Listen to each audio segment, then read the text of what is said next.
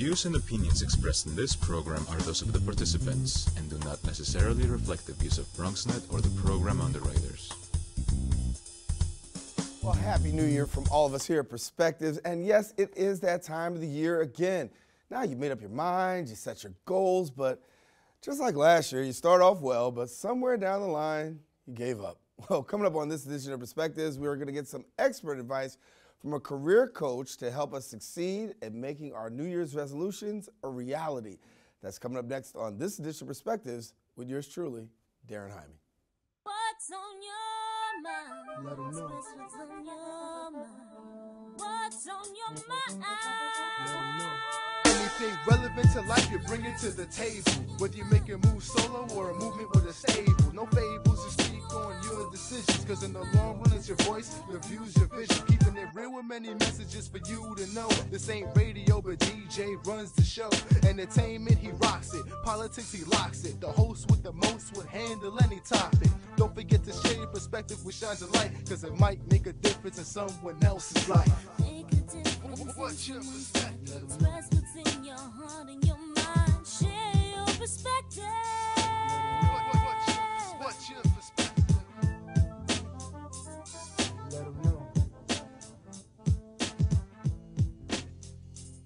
And hello, everyone, and welcome to another edition of Perspectives. I am Daren Jaime. Of course, we invite you to watch us every week on Perspectives. And then also check us out on social media. Of course, Facebook, Bronx BronxNet Perspectives. Also, my uh, professional page, Daren C. Jaime. And then also Twitter. You can find out about what's happening on the show. And uh, also let us know if you want to see something. You never know. Your perspective just might make it on right here on set. Well, coming up, it is a new year. Yes, and Happy New Year to all of you. Our next guest in studio today, well, she's an executive coach, she's a career strategist, she works with business executives, journalists, entrepreneurs, and other professionals helping to boost their job performance. Now, she's also a former Reuters TV anchor and a former BronxNet reporter. You saw right here on BronxNet. I'm introducing you to Elizabeth Koraca, and she is back here on the show, helping us make sense of 2018 and really getting these resolutions and sticking to them. How you doing? I'm good. Thank Good to have you. Thank you for having me. It is so wonderful to be back at BronxNet. Like you mentioned, I was a reporter here. Yeah. And it was such a great experience, and I love the people in the Bronx. So I was so excited when I got the call to be invited back on your show. Well, I'm glad to have you back. It's been a little while. Good, good to have you. Yes, Been yes. busy too, huh? Very busy, yes. Good. Well, you're gonna help us out today. I sure am. Okay, so good. Let's talk about this now. 2018 is here. And you know the drill. We all have these New Year's resolutions. We want to make it work. We want to make it stick. But talk to us about these resolutions because uh, for some people, it's very hard. It is very hard, but what I would say is the reason why it's hard is because there's not a proper plan or strategy in place. So this is mm-hmm. what you got to do. You want to keep it simple. Just choose maybe one or two resolutions, okay? Mm-hmm. You want to set yourself up for success. Then write those resolutions down and have them visible mm-hmm. so you are constantly reminded of them. And studies show that those people who write their goals down have more of a chance of succeeding in achieving those goals than those who don't. And then the third but very important point is you want to create an action plan. How are you going to make this happen? Mm. So let's say you want to lose weight. How are you going to make that happen? Are you going to join a gym? Okay, when are you joining a gym? What mm. about your eating plan? Are you going to do like a Weight Watchers? When are you going to join that? Okay. Then you want to get your calendar out and start marking the dates as to when you're going to join the gym, when you're going to start working out, when you're going to start eating healthy. These are all kind of tools you can use to actually make your New Year's resolution happen. So we actually say it, but we really don't plan it, is what you're saying. Exactly. Mm-hmm. You have to have the plan and you have to write it down and then be reminded by it. So once you've, you've kind of mapped it out, you can either print it out, put it on your desk, right? Have it somewhere visible. Maybe it's on your nightstand. You know, I have I work with people they tape it to their mirror, right? Right. Or when they open that, you know, the bathroom cupboard to take out the shaving cream, it's taped right there. So you're reminded. Or maybe you're someone who doesn't like to print things out. You want to put it in your calendar, you can have calendar reminders, like mm-hmm. checking in once a week, once every 2 weeks, you know, once a day. It's up to you. But you have to put a little bit of work into it, but if you do, it's such a great feeling of accomplishment. What are we hearing as the predominant resolutions that we hear? You know, uh, what are the most popular ones that we're hearing about? Okay, so the top two, or the, they're kind of tied for the number one spot, is to be a better person and to lose weight. Okay. Okay, so if you want to be a better person, that means different things to so many different people. So maybe it means you want to have more patience. Maybe it's more patience at home or with your kids. So, what are you going to do to be a more patient person? Does that mean maybe you'll try some apps? Maybe you'll do some meditation? Mm-hmm. Does that mean you're going to take yoga because that calms you? You want to figure out, okay, what do I need to do to be a better person? Or maybe that means you want to volunteer somewhere. Mm-hmm. So if you want to volunteer somewhere and give back to be a better person, you know, what organizations do you feel like you have a connection to? What is a passion for you so you will continue to stick with it through the year? Most people start off good, and I'll say by middle of the month, we're struggling. By the end of the month, already over. Um, how, what should we do if I fall off the wagon? Because you know sometimes people do fall off the wagon. Mm -hmm. I totally agree. So you want to kind of figure out, okay, like I mentioned before, if I'm setting a New Year's resolution, make it simple and easy for mm-hmm. yourself. So you can kind of check the box. Then I like to talk about with the people I work with setting goals for 2018 that will last you throughout the entire year. Again, writing it down. Let's think about what is the vision you want for your life, your business, and your personal life for 2018. Write that down. It doesn't have to be pages upon pages, it could be a couple bullet points or a paragraph. Then, what are the, the top five priorities you want to accomplish this mm-hmm. year? What are the priorities? Then, month by month, January through December, what are the goals, big and small, I want to accomplish? But then, most important, mini action plan for each goal could just be one bullet point, okay? How am I going to make it happen? What do I have to do to make it happen? Mm-hmm. And those are one of the most important things, trying to really make it, make it, you know, make it happen. Uh, and if you're watching right now, listen, it's not too late to start. I mean, we're talking about it's the beginning of the year, and Elizabeth, it is not too late to start. It's not too late to start. It's definitely not too, it's never too late to start. So let's say, you know, you're busy. You didn't you didn't write it down. You didn't make that priority. What if February rolls around? What if March rolls around? It's okay. It's never too late to start. Just kind of then skip over New Year's resolutions and go with your 2018 goals. And like I said, like those people who set goals and write them down have a greater chance of achieving their goals than those people where we all have good intentions. We think, okay, I want to lose weight, I want to be a better person, I want to get a better job, I'm unhappy at my job. Okay, but you have to write it down and then create the plan for it. Mm-hmm. Take a quick break, coming back and talk more with Elizabeth in just a few minutes. But listen, if you're planning to do this for 2018, we want you to stay connected to us because what we're going to do is we're going to give you some tips on making it stick. And then we're going to find out what are some of the more popular ones. You've heard a couple of them already. And uh, what are some of the worst ones we can make? I don't know. We'll find out. Stay with us. Come right back in a few.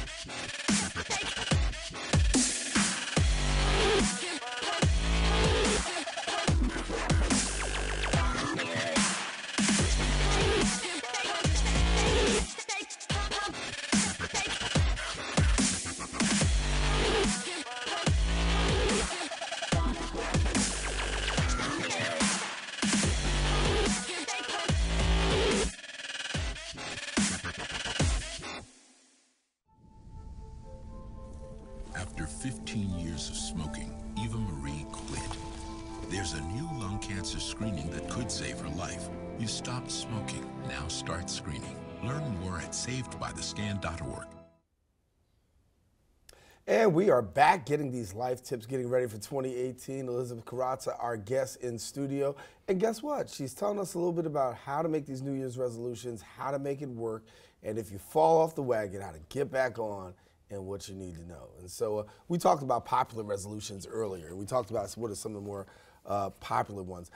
What are ones that we're making that we're really uh, setting ourselves up for failure? Well, look, on the on the kind of the top six, it's it's be a better person, it's lose weight, it is eat healthier, mm-hmm. kind of exercise more, quit smoking, and they're all good resolutions to have, but you have to have a plan. Right. It's not going to happen unless you write it down, put that action plan in there. Then mark it in your calendar. And then like, create a timeline for yourself. Like so if you do want to lose weight you know how many pounds a week do you want to lose? And also are you being realistic? We want to set ourselves up for Right. success. And i believe in big great goals. There's nothing wrong with that. But you want to make sure that you're you're being realistic. Like so putting you know i want to lose 15 pounds uh, uh, you know a week i mean that is unrealistic could it happen it's probably a little bit dangerous right Right. but you know setting a goal like maybe one pound a week is a little bit more realistic or half a pound so you just want to make sure you're setting yourself up for success but let me ask you what about new year's resolutions for daren So New Year's resolution for me is I have to write this book. I'm writing a book, nice and I got to get that done. Nice. Um, and I've given myself until about April 15th.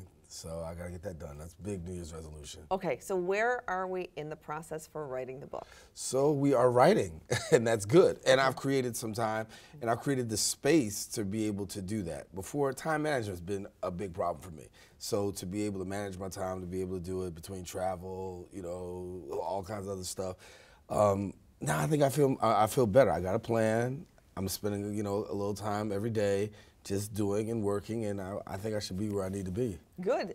So, like you had mentioned, like you know, making time. So I get that a lot. People ask me all all the time, "I don't have enough time." Well, this is what you need to do when you have a goal, like something like yourself, like mm-hmm. writing a book, is taking things off the calendar and putting in and prioritizing, like your book writing. Right. Okay. And so freeing up that time will make you feel like you're more in charge and more in control and that this is something that you can achieve and accomplish. And you know, you really want to think about and prioritize like I said when you create the 2018 goals, like what are those top 5 priorities, right? Mm-hmm. For you, your book would be right in there. And you want to think about clearing the calendar. What can I move until later? What can I move until the spring? Or what can I pass off maybe to somebody else? Or maybe I, I was going to take on another project, but now I've looked at my priority list and it's not on my priority list. Mm-hmm. So I'm going to put that in my goals for maybe maybe the summer, mm-hmm. so I can really get this done and prioritize and get it done for for the deadline. So many times I think people mess up because of time management. Honestly. Yes, yes, and that is very tricky. And I work with people all the uh-huh. time on this issue. Mm-hmm. So, time management is really important. And again, having the goals there, having your priorities there, mapping out. Some people like to do it in quarters. I prefer to do it monthly so you can really see. Mm-hmm. You know, no goal is too big or too small. Mm-hmm. And you want to have your calendar there with you when you're setting those goals. So you you ensure that you're moving forward and you're creating the time that you need to accomplish what you want to accomplish. Mm-hmm. And so, if I run into trouble, if I run into problems, trying to fulfill this, trying to get this done, uh, we talked about getting back on the wagon. What are some of the things that I need to do to encourage myself to, to really push through this? Because, yeah, you know, you make these, like, if I don't meet my deadline, then 30 seconds later, I'm gonna be, all right, I'm not doing this anymore. You know, what do I do to stay on the wagon? Okay, so you want to take a look like, what is my plan? What is working for me and what is not working for you? So it's like all of a sudden everything's going well, but then you said, maybe I fall off the wagon. You want to change course because sometimes we create this plan for ourselves and you think, okay, I got to stick to it, I've got to follow it, I've got to make this happen. But if it's not working for you, you want to change course and figure out okay, how can I do this? Mm. So maybe then starting to create time when you get home putting it in the calendar to write the book. Or maybe you know you're exhausted or you have family priorities. So maybe doing it first thing in the morning or on your commute to work. Maybe you're on the train. So mm-hmm. really trying to change it up to figure out how it can work for you. Mm-hmm. So as we look forward to 2018, a lot of you are making resolutions. Listen, it's never too late to start. Elizabeth told us that already. You got to keep it going, and if you fall off the wagon, you get right back on. And so, uh, time frames and setting goals. Obviously, those are the biggest things. I was looking at some of the top 2018 New Year's resolutions. Uh, be a better person, weight loss. We, we, we, we talked about that. But talk to us about burning out here, because a lot of people suffer from burning out. And that just cancels any kind of resolution you want to make. I agree, especially at this time. The holidays can be a wonderful time, but it can be an also very taxing time. You're mm. shopping, you're trying to get things done, you might be traveling. All of a sudden, the kids are off school, so you're helping manage them and you're working. So it can burnout really kind of co- compounds at this time. So the new year is a perfect time to think about okay, I feel burnt out. Once you start feeling like that, exhaustion, maybe a little edgy, swirled in with a little anger that you're thinking, where is this even coming from, right? Mm-hmm. It's burnout. This is what burnout is. So let's put in your goals, make a plan for yourself, write it down in the notes of your phone, in your calendar, wherever, whatever works for you. You really want to make sure that you're going to kind of take this seriously. Mm-hmm. Because when you take care of yourself, everybody wins. But you know when you're not feeling well and you might be edgy, mm-hmm. Nobody's happy in the situation. Okay. Right. So think about what fulfills me? What fills my cup back up? How can I refill my gas tank? So that might be sleeping in. Well, people say, I have kids. Well, like make a plan okay so can a babysitter come what about parents or in-laws okay um, do you like to watch sports. Does that energize you? Do you like to play sports? Does that energize you? Maybe you like to go shopping. Maybe you like to spend time with your kids. Maybe you like to go for a walk.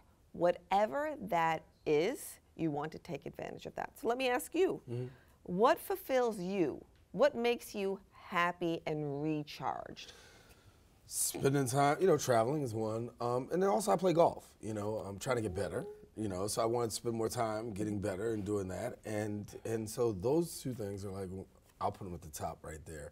Uh, you know, between the travel and spending and, and playing some golf, and that's it. And spending time with my son.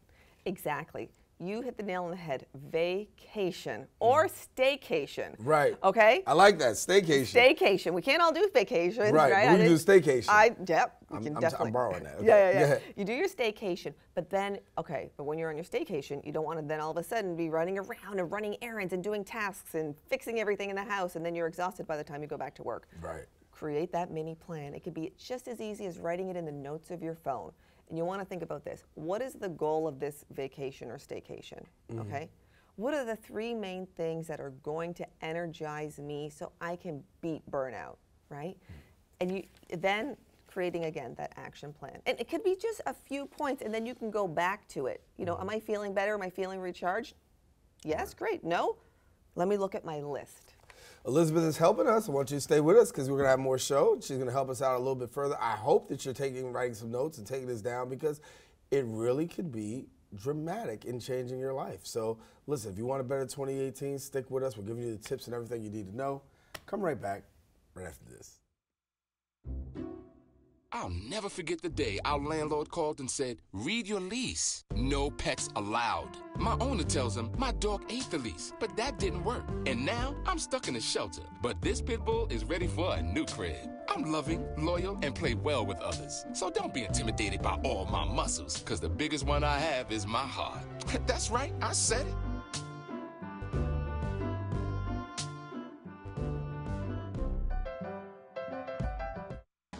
Patriotism. It inspires passionate debate. and It's worn like a badge of honor with good reason.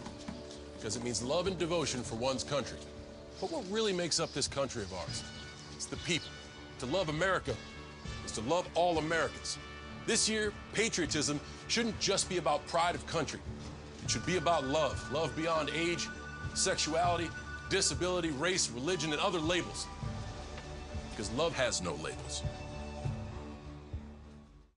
Music is a bridge between the material and the spiritual.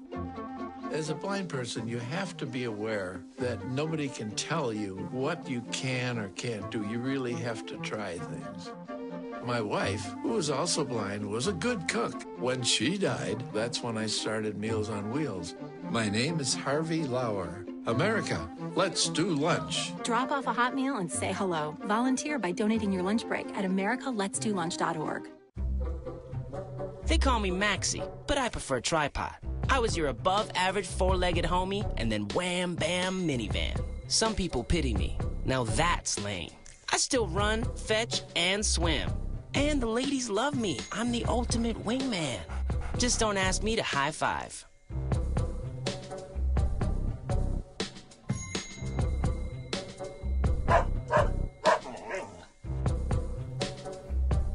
And we are back here on Perspectives. Elizabeth Koraca, our guest here with us. And listen, been talking to us about New Year's and making these New Year's resolutions, and uh, you've been you've been quite helpful here. And so, talk to us because as I gave in the intro, you know, you worked at Reuters, and then you know you were here with us, and you've been around, and you made this transition, if you will. I did. I did make a transition, and a- I work with a lot of people that are looking to make a transition in the new year, mm-hmm. whether you know it's changing industries or changing jobs. And you know, I say to people, well, how are you going to make this happen?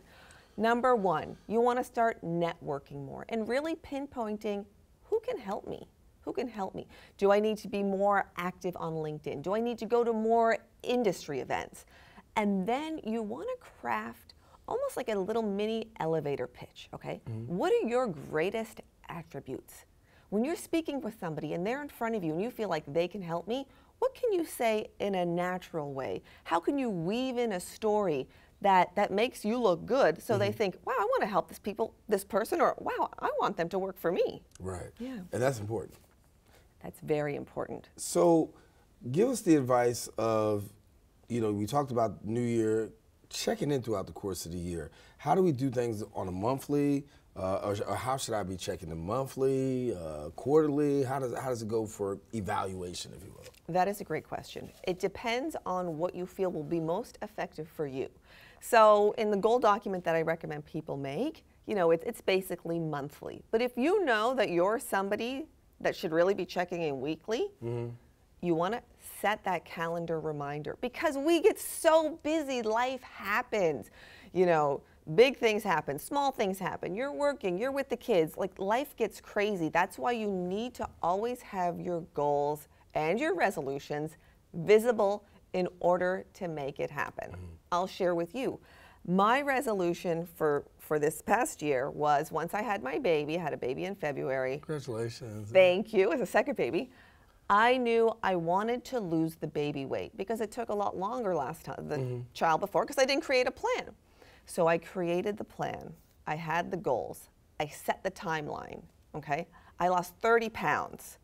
And in the middle of it, somewhere, all of a sudden, you know, I was doing Weight Watchers. I had a, a personal trainer for a short amount of time. I realized that I couldn't go to the gym as much and I couldn't go to um, the Weight Watcher meeting. So I changed course. Like we were talking about before, when something's not 100% working, even though I love both of those things, I changed course. So I started another plan. I did the 21 day fix just to lose those last seven pounds because I knew I could do, I was looking for that exercise plan from home. So when something is at 100% clicking, because maybe circumstances change, change course. Changing course is what we're doing. Got to make things better. 2018, you have to take the proactive steps in order to do that. Elizabeth told us about look making those New Year's resolutions, how to make those resolutions come to life. If you fall and get off the wagon, how to get back up, and then really listen, sticking to it. And and a lot of this is about vision, right? Because it's about seeing the vision, creating the vision, and writing the vision. Exactly. Again, you just hit the nail on the head. What do you want your life to look like in 2018 and beyond? You have the opportunity. It's a fresh year, it's a new start to kind of think about and create the life that you want. You're in charge, you're in control, you can do this. You just have to have the vision. Write that vision down. And you'll you know, you'll get to paper or or the computer and you're not 100% sure. That's okay. Get it on the front burner. Check back in in with it. Doesn't have to be perfect. You know, these types of goal plans, you know, they can take months and your goals are a living and breathing document. Mm-hmm. If something changes in your life, something Right. changes and all of a sudden like let's say your book you know you had planned on april but all of a sudden you know what something else has, has taken over and there's another priority i'm gonna i'm gonna it's okay i'm gonna i'm gonna set my deadline for june mm-hmm. i'm gonna give myself a couple more months or maybe you feel or someone feels like they're rushing something but they don't want to rush at it it's okay to extend a deadline if that works for you And what I was going to lead into about making those adjustments because sometimes we don't make the adjustments. We just are hard and fast with it. Don't make the adjustments, but you're recommending make the adjustments as time goes on. Oh, yes. You want to always change course if something's not working for you. And sometimes it's hard because we have something in our mind, we have a plan, we feel like we know what we're doing, it's going to happen, and all of a sudden we've signed up for a program or we're working with somebody or we've done something that it's not a good fit.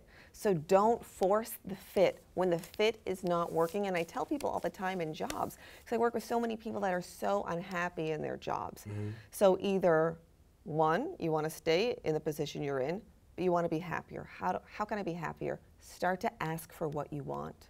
Start to ask for what you want. Is it a raise? Is it a title change? You know, you want to be strategic. Is it the right time? Is my boss in a good mood? Have I have I listed all the points as to, you know, why I deserve a raise? You know, remind your boss all the great things you did this past year. You know why? He or she is is not going to remember everything, especially they've got their own pressures. They've got their own interests at heart. They might be managing other people. So don't assume that people always remember too. All right. Well, Elizabeth has been here for this whole half hour, giving us everything that you need now.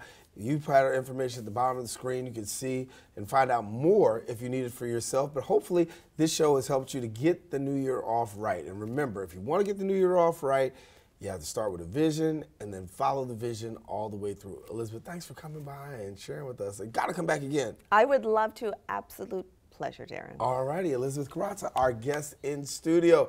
Listen, that about wraps up for this edition of Perspectives. I am Daren Jaime, inviting you to stay connected every week where we bring you new, exciting information for all of us here on the set of Perspectives. I'm Daren Jaime saying take care, God bless, and we'll see you soon. And that happened like in 28 minutes. All right. This Anything relevant to life, you bring it to the table. Whether you make a move solo or a movement with a stable. No fables, you speak on your decisions. Cause in the long run, it's your voice, your views, your vision. Keeping it real with many messages for you to know. This ain't radio, but DJ runs the show. Entertainment, he rocks it. Politics, he locks it. The host with the most would handle any topic. Don't forget to share your perspective with shines of light. Cause it might make a difference in someone else's life. Coming to you from our BronxNet studios, four new shows highlighting some of the best of the Bronx has to offer.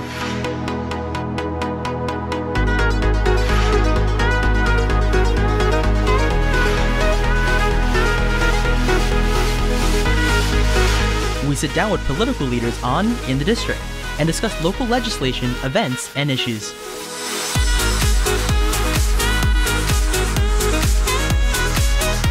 See how the community and business come together with The Bronx Now on BronxNet.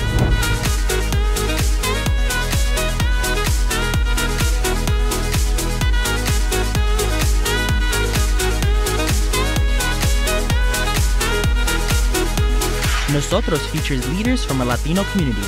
Meet those who are moving to make a difference in public service, business, arts, and culture.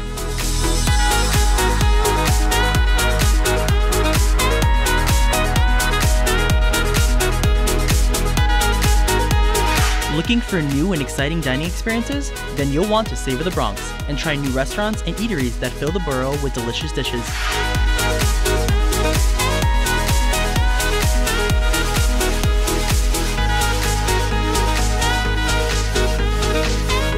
We have it all, so experience the Bronx in new and fresh ways on BronxNet.